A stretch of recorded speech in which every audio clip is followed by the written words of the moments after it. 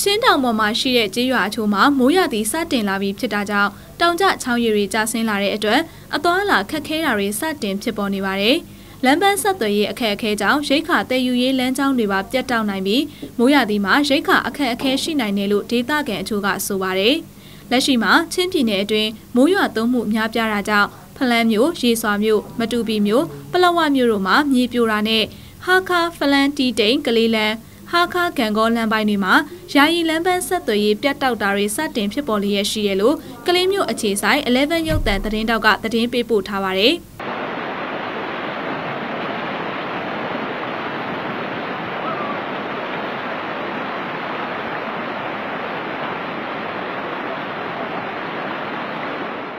ချင်းတောင်ပေါ်ကနေစီးဆင်းလာတဲ့လိုင်ပုံချောင်းချင်းတောင်ဒေသအခေါ်ကွဲချောင်း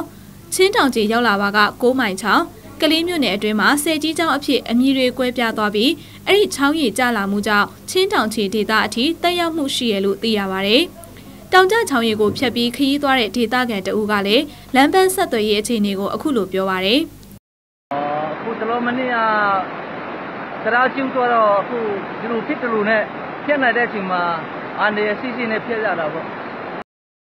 လက်ရှိမှာမိုးရွာသွန်းမှုများပြားတာကြောင့်ရခိုင်ပြည်နယ်အပါအဝင်ဒေသအချို့မှာလည်းရေကြီးရေရှမ်းမှုတွေဖြစ်ပေါ်ခဲ့တာဖြစ်ပါတယ်။